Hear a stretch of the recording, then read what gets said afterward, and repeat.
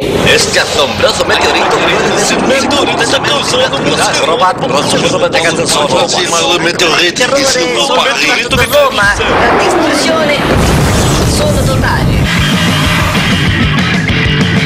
Con toda la alegría del mundo los recibimos hoy a esta edición de lunes de Reporte Descomunal. Le vamos a dar las noticias y también algunas otras cosas junto a mi compañero Ignacio Curi. Con esa alegría característica de cada lunes, somos una especie de Garfield, odiamos los lunes también, al igual que aquel mullido gato naranja, que no sé por qué odiaba los lunes porque en realidad él no trabajaba, él se pasaba comiendo lasaña. Eh, y yo estoy muy contento porque hoy faltan seis días nada más para las elecciones internas. ¿Y eso te pone contento? Sí, porque soy uno de los pocos indecisos que van quedando. Y ya me imagino que van a llegar a casa de todos los partidos y van a ofrecer, señor, ¿usted no quisiera un auto para trasladarse? Me van a hacer regalitos. ¿Te hace falta chorizo, Sol? Se lo traigo al pan, que le gusta con cebolla, con tomate, porque los indecisos hoy somos las chicas codiciadas. Es verdad. ¿O no? Sos una, sos una chica ¿Vos codiciosa. ya sabés a qué me vas a votar? Yo estoy completa y absolutamente seguro de que me votas. ¿Ya pasó por acá? No sé, Ah, secreto de voto ahora. totalmente secreto, además del punto de vista que soy un líder de opinión, no puedo andar ahí. ¿Líder de opinión? Soy un líder de opinión. Soy parte de la cofradía cool, igual que vos. Ah, no me he dado cuenta. Claro, Leo. Yo después te explico cómo esto es. Señoras y señores, pasaron muchísimas cosas este fin de semana. Vamos ya mismo con los titulares, con lo más importante de la jornada. ¡Accidente! El precandidato Luis Hierro tuvo un fuerte accidente de tránsito en Durazno este fin de semana. Está bien y fuera de peligro, pero el chofer se llevó la peor parte. En exclusiva tenemos las imágenes. ¡Prócer! Tabaré Vázquez anunció que moverían los restos de Artigas del mausoleo y los llevarían a un museo en el Palacio Esteves. La oposición se paró de punta y todos dijeron que Artigas está bien y contento donde lo pusieron los milicos que sometieron a todo el pueblo. Entrevista exclusiva a Artigas mediante el juego de la copa, donde nos confiesa que quiere que lo saquen de ahí. Más casos de gripe porcina ahora en el Colegio y Liceo Seminario. Tenemos imágenes del momento justo en el que el virus ingresó al centro de estudios. Algo de esto y mucho más hoy en Reporte Descomunal. Si el tema hubiera sido el dengue, creo que era mucho más difícil encontrar imágenes de mosquitos asesinos. Hay muchas películas con mosquitos asesinos. Pasamos rápidamente a la información. El presidente de ANCAP, Raúl Sendic, dijo que si bien los precios internacionales de los combustibles subieron, el ente estatal recién podría incrementar los precios en el mes de julio. Dado que las elecciones internas son este domingo, a fin de mes, podría tratarse de un caso de aumento castigo. La suspicacia a la orden del día. Y te cuento que autoridades de Argentina y Chile lograron destrabar el paso en el túnel Cristo Redentor que une a esos países y que estaba clausurado por la nieve que cayó sobre los Andes. Ahora Omar Lafruf está desesperado porque nieve sobre el puente San Martín. Nacho Curi, ¿tenés más información? Sigo yo y bueno, te cuento que el gobierno francés emitió un decreto que prohíbe que quienes participan en manifestaciones públicas se tapen el rostro, especialmente con pasamontañas, para evitar que los identifiquen. La medida se inauguró durante la última marcha de asmáticos, donde 37 personas murieron. Fernando Lugo declaró que había que repensar el celibato. La idea le vino cuando estaba fumando un cigarrillo en la cama junto a una de las madres de sus hijos. Mira que tenemos al. Tenemos un representante del clero entre un rato, Leo, te pido por favor. Creo que va a estar a favor de, de- de Parece- terminar con el A celibato. mí me parece lo mismo. Atención, atención, atención, atención, atención. Tenemos el enlace del estudio Pero más para, ¿cómo mayor. es? ¿Es acá o estás escuchando? Estoy escuchando porque es el estudio de al Ah, lado. es acá al lado. Es el estudio más mayor de TV Ciudad. En este preciso momento se está llevando a cabo un debate. Ustedes saben, los lunes se graba tiempo de debate aquí en TV Exacto. Ciudad, que sale más tarde. Y. Ya empezó, ya empezó, ya empezó. Sí, los escuchás, ¿no? Vamos a hacer un contacto en directo con tiempo de debate. Creo que hoy debaten sobre las internas. A ver.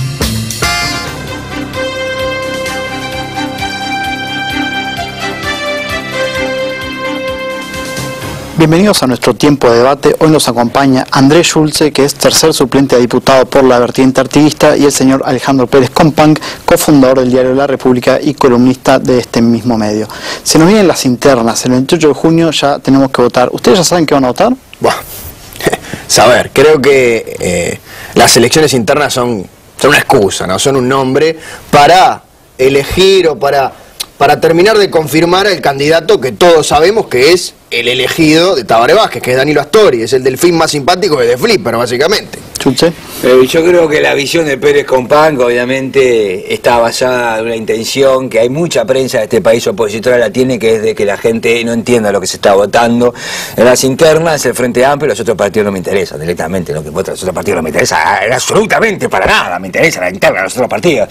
Lo que está votando el Frente Amplio, las internas, es quién es el vicepresidente. Porque el presidente ya está decidido, porque el compañero Tabaré Vázquez dijo que era Daniel Astori, la persona doña. Entonces, usted no le mienta a la gente. La gente va a la urna para elegir quién es el Pero vicepresidente. basta Y de si la hacer antivasquismo, no hay que ir a las urnas. Tabaré Vázquez ya decidió quién será el próximo presidente de los uruguayos, Danilo Astori, perfecto. El día de las internas, usted se queda en su casa, hace un asado, aprovecha el feriado y no va a votar. Por favor, un tipo que va a votar es un tipo que está yendo en contra de los designios del magnánimo Tabaré Vázquez primero. Mire, usted no le voy a permitir, primero, ni que se dirija a mí de esta manera, y segundo, no le voy a permitir tampoco que hable así del señor Danilo Astori, porque Danilo Astori tiene la posibilidad es respetar más que nunca la intención de Tabaré, que la fórmula sea Astori-Astori, Astori a la presidencia y Astori a la vicepresidencia. Y eso Tabaré lo haría muy feliz, pero no lo puede proponer. Precisa de cada uno de nosotros que vayamos a... ¿Usted piensa que algo puede hacer a Tabaré feliz? ¿Usted no sabe que él es feliz? Él se mira al espejo y es Tabaré Vázquez, es la persona más feliz del mundo. Yo también sería feliz si yo pudiera mirarme al espejo y ser yo Tabaré Vázquez, pero no puedo, entonces tengo que hacer lo que me pide él. Pero piense en él, piense en él antes Todo de el día acostarse, arrodíllese al lado de la cama, acostarme pienso en él. recen Tabaré estoy con Vázquez. mi señora pienso en él. Tabaré en el bar Vázquez. pienso en él. Crea Todo Tabaré el día Vázquez. pienso en él. No hace Tabaré falta que Vázquez. venga una persona como usted de su estatura moral a decirme que tenga que empezar el Tabaré Vázquez. Áspero. Están caldeados los ánimos en el estudio más mayor de TV Ciudad. Pero Nacho, Es hora de lo que realmente nos importa y más en estos últimos días, que es nuestra... 13 candidatos, varios miles de listas, muchos cargos que ocupar, pero solo un ganador por partido. Es el reality show más importante del momento. Solo faltan seis días para la Repartija 2009. Pensa bien lo que metes adentro de la urna o vas a sufrir por cinco años. y sí, noticias electorales de la mano de Ignacio Alcuri. De mi boca, en realidad, porque si no sería lenguaje de señas y no la conozco. Te cuento que el precandidato Marcos Carámbula dijo en un acto este fin de semana que hay una sola izquierda y un solo programa. Acto seguido anunció que votará Raúl Rodríguez de Asamblea Popular. Además, Carámbula pidió que la fórmula del Frente Amplio se defina luego de las internas y lo más rápido posible. El precandidato no ve la hora de volver a la intendencia de Canelones para olvidar la depresión que siente cada vez que escucha las cifras de intención de voto. Igual debe estar mirando este programa, así que le mandamos un abrazo fraterno. Sí. Y el flamante ministro del Interior, Jorge Bruni, se reunió hoy con representantes de todos los partidos políticos. La primera medida que tomó con respecto a la seguridad fue no volver a llevar su billetera a una reunión con representantes de todos los partidos políticos. Consejo sabio. En la mencionada reunión se ajustaron detalles sobre la jornada electoral del próximo domingo. Esto es lo que reclamaban los diferentes partidos, vamos a verlo con un gráfico. El Partido Nacional reclama la reducción de funcionarios públicos en cada mesa para achicar el costo del Estado, es un vie- un viejo pedido del Partido Nacional. El Partido Colorado, por su parte, reclama que el presidente de cada mesa explique cómo votar a los viejitos, que son el 90% de su electorado, ¿no? Que no se le complica al Partido Colorado. El Frente Amplio reclama que los policías encargados de la seguridad le aclaren a los votantes que Daisy Tourné ya no es ministra. A ver si contrarrestamos un poco el efecto negativo. Y el Partido Independiente reclama que el presidente de Mesa, de que el presidente de Mesa también sea el delegado, porque tienen solo 15 militantes en la- para esa función, ¿no? Terrible, Leo. Nos quedamos sin entrevistado para el bloque 2. Te lo agradezco muchísimo. Vamos a hacer, no sé, más tiempo de debate o alguna cosa en particular divertida. No, sigamos adelante, sigamos adelante. Bueno, eh, las internas se aproximan y este fin de semana hubo muchos actos. Uno de ellos fue el del precandidato colorado Luis Hierro en Canelón Chico. Y bueno, vemos las imágenes. Vamos a ver. Si gana el Frente Amplio es porque el Partido Col- Colorado se quedó atrás. Y si gana el Frente Amplio viene el Pepe Mujica con la barra. Él está un poco más acomodado, lo peinan, está, está más, ¿no? Está más, este, se baña. Eso, eso no sé. Sí. Si, si tuviera Facebook como la ministra Tourné, de repente podíamos enterarnos, pero no. Eh, Bueno, al igual que Daisy Tourné, Hierro ya está para hacer stand-up. ¿Viste cómo manejó eso de si Mujica se baña? Y salió. Me gusta su manejo de los tiempos, Sí, el humor. Ahora, la pregunta es. ¿Te metiste en un bar y le empezaste a hablar a la gente que estaba ahí tomando tranquila? Hierro, no sé si pudieron ver las imágenes que estaba en un bar, había parroquianos chupando. Quiero creer que eso no tuvo nada que ver con, Sí, con con lo el- otro. Si toma, no maneja. Exacto. ¿Puedo seguir? Sí. ¿Me das permiso? Pero bueno. Muchas gracias. Quien no pudo hacer su acto de cierre de campaña a causa del mal tiempo fue el precandidato nacionalista Jorge Larrañaga. Sin embargo, sus seguidores lo esperaron a la salida de una, entrevista que dio en Radio Carve para darle su aliento. Vamos a ver ese momento. Una improvisada caravana de 30 autos llegó este mediodía hasta los accesos a Radio Carve, donde Larrañaga participó en un programa junto a dirigentes de su sector. A su salida, los manifestantes le tributaron una bienvenida tan colorida como bulliciosa.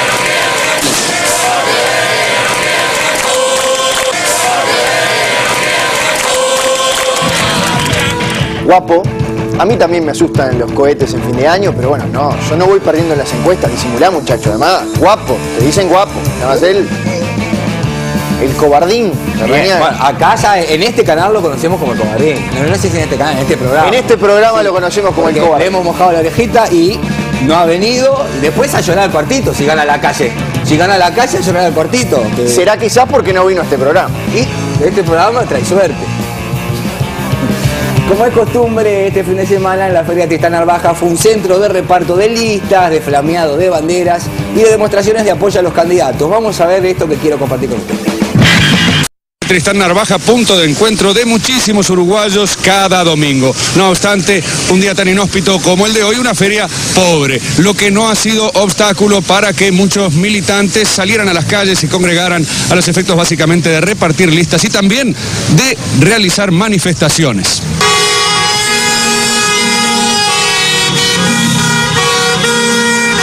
El mal tiempo no es obstáculo. No, no, con el guapo nada es obstáculo, con el guapo ganamos seguro.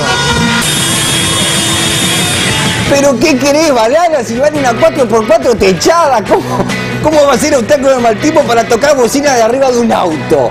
Y el que estuviera repartiendo pan entre los niños pobres Se al aire Se libre. le iban a llevar puesto al hombre. ¿eh? Bueno. La verdad, un Daredevil ahí cruzando las calles. Sí, después- Con su micrófono, como si el, el micrófono fuera una especie de cartel de pare a los autos. Después de esto venía un informe completo sobre lo mal que cruzamos los uruguayos en la calle. Sí. Una campaña de responsabilidad del Canal 12, pero che, cada accidente, la gente no cruza donde tiene que cruzar.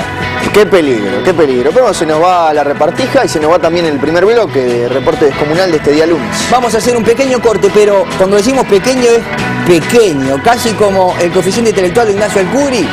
A la vuelta vamos a tener aquí tal vez al próximo presidente de los uruguayos. Un precandidato va a estar dialogando con nosotros en reporte descomunal. No se vayan, cortito, cortito, cortito.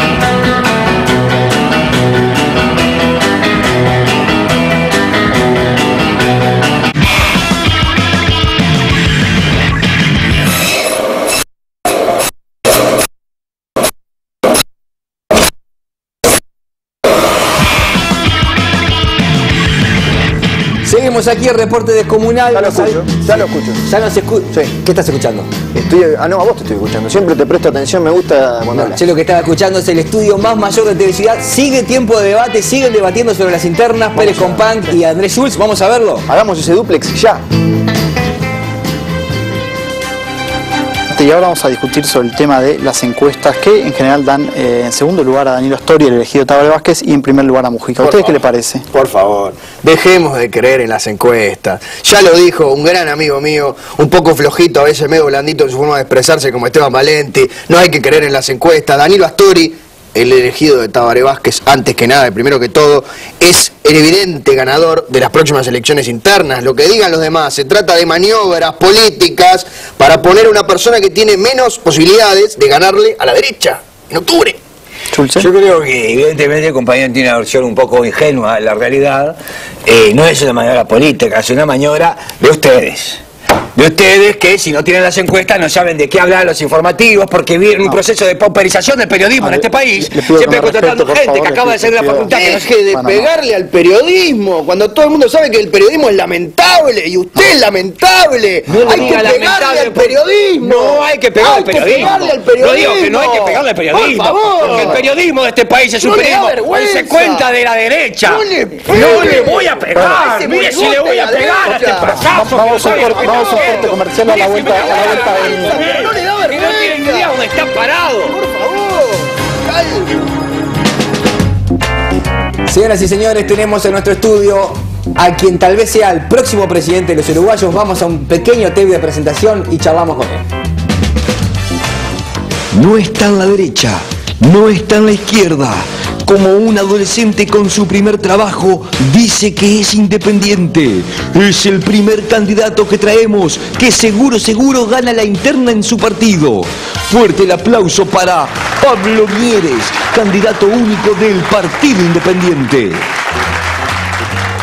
Bueno, buenas noches, Mieres, ¿cómo está? Buenas Un placer tenerlo aquí. Encantado. Para nosotros, sinceramente, es el primer ganador. Bueno, Raúl Rodríguez en la, en la Asamblea También, Popular también. también. Este, Tenemos un ganador, no sabíamos lo que se sentía. ¿Qué se siente esta tranquilidad? Una gran tranquilidad, unas ganas de seguir de largo con la segunda parte. Ya estábamos un poquito aburridos, esperando que termine esta, esta interna, pero bueno, en una semana estamos en la segunda parte. Usted se presenta como una tercera vía, digamos, a lo que eran los partidos tradicionales, ¿no? Eh, pero, y a la vez se marcaba una diferencia con la izquierda, ¿no? Quería hacer la opción distinta a los partidos tradicionales, pero sin ser de izquierda.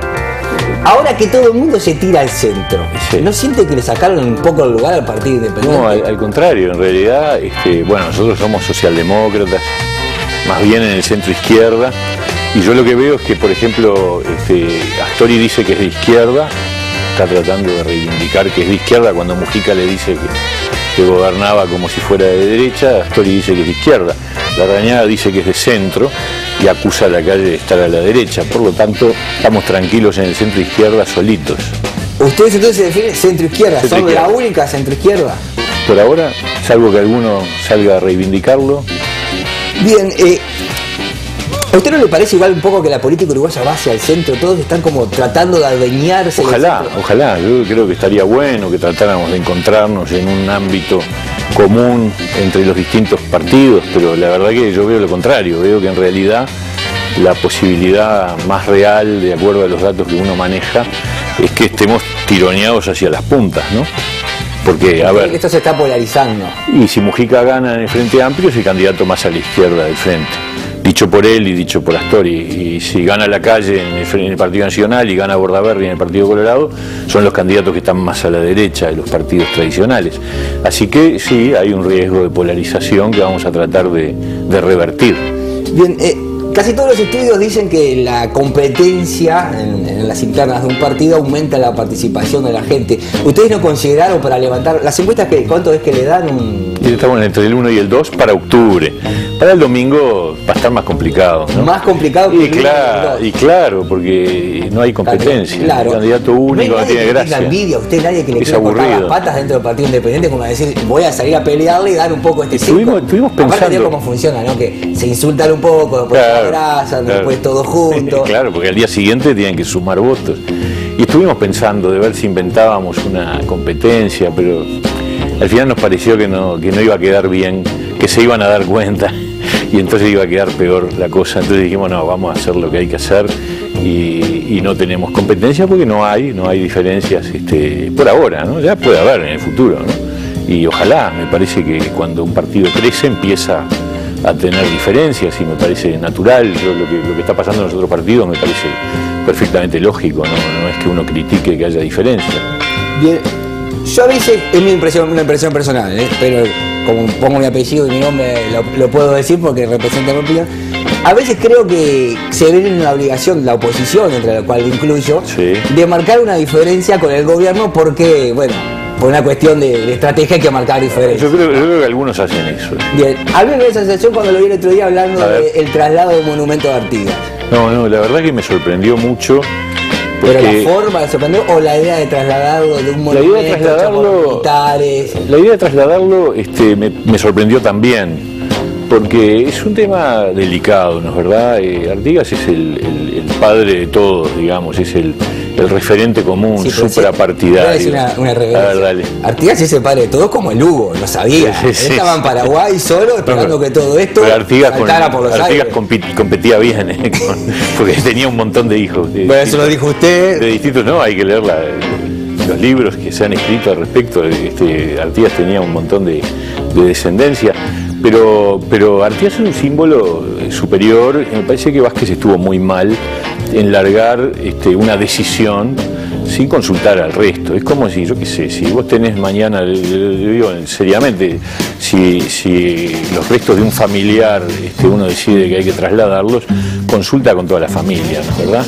Entonces, me parece que eso Una diferencia de la forma y no del fondo. Y sobre el fondo hay que discutirlo. Yo no, no tengo tan claro que sea necesario trasladarlo.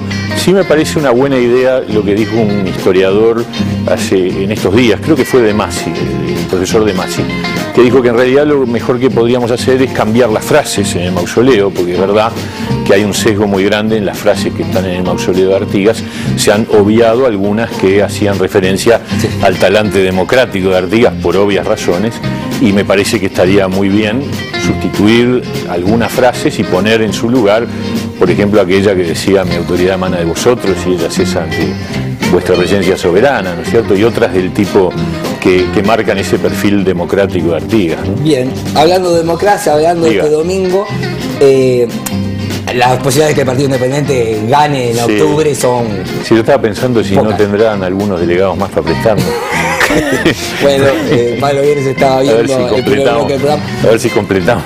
la Ante mesa. un eventual balotaje, ¿por quién se inclinaría el Partido Independiente? Hoy por hoy todavía es muy temprano, ¿no? Este, y yo además tengo como premisa la idea de que los votantes son libres, son independientes, y los que nos voten a nosotros son muy independientes, o sea que van a hacer lo que quieran, y está bien que hagan lo que quieran. Bien. Y por lo tanto nos parece que deberíamos respetarlos. Pero un consulado en Río de Janeiro no, no viene mal. ¿A quién? ¿Por qué? A mí no, no me ¿No? interesa, no. No le interesa.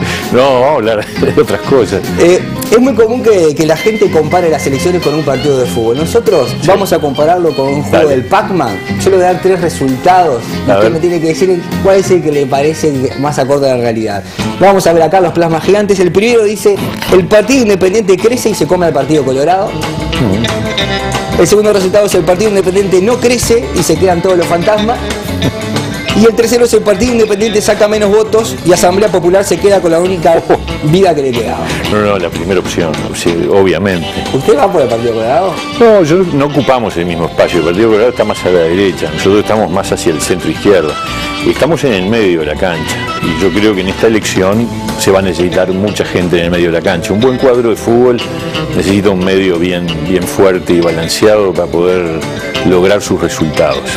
Y me parece que esa es la, la oportunidad que, que existe para el país en este próximo periodo. ¿no? Muy bien, aquí tuvieron Pablo Mieres, el mejor 5 de este domingo 28.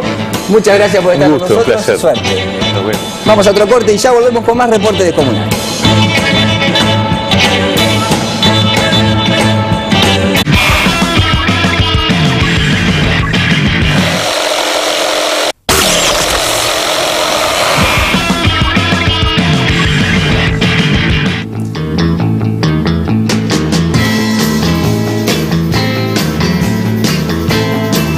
Y cuando son exactamente... Es muy tarde, Leo, muy tarde. Vamos ya a ese duplex porque Bueno, los vamos. tiempos apremian.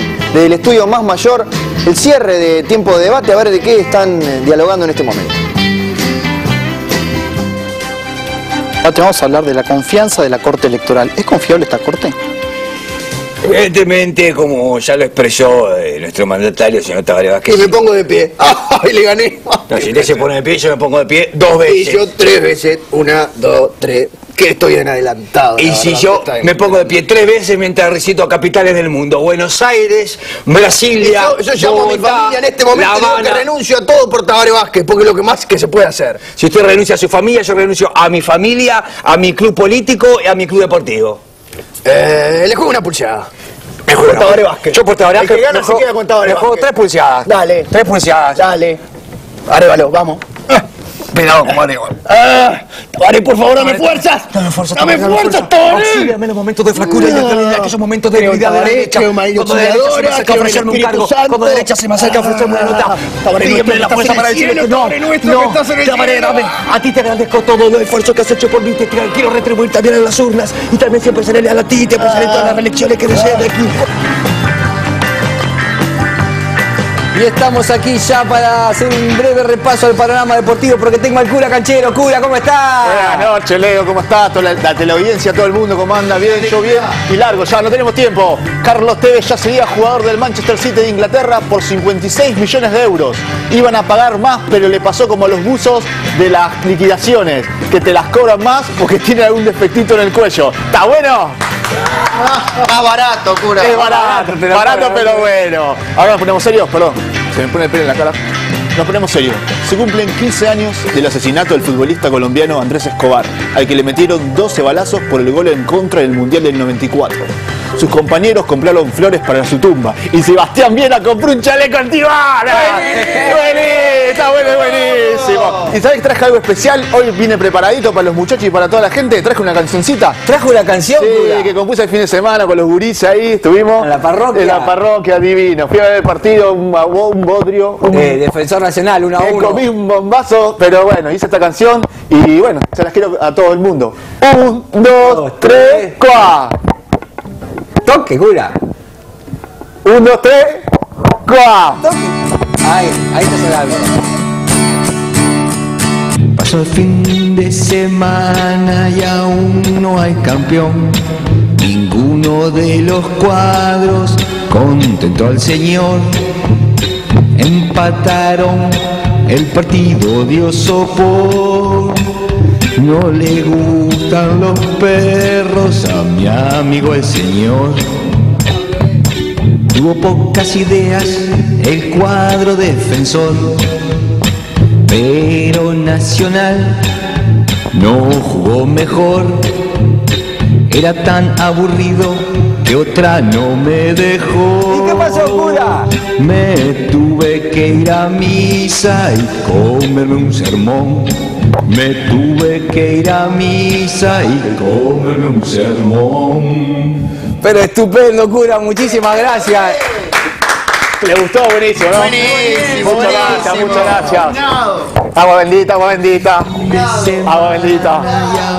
No hay campeón. Ah, de nuevo. Uno de los cuadros contentó al Señor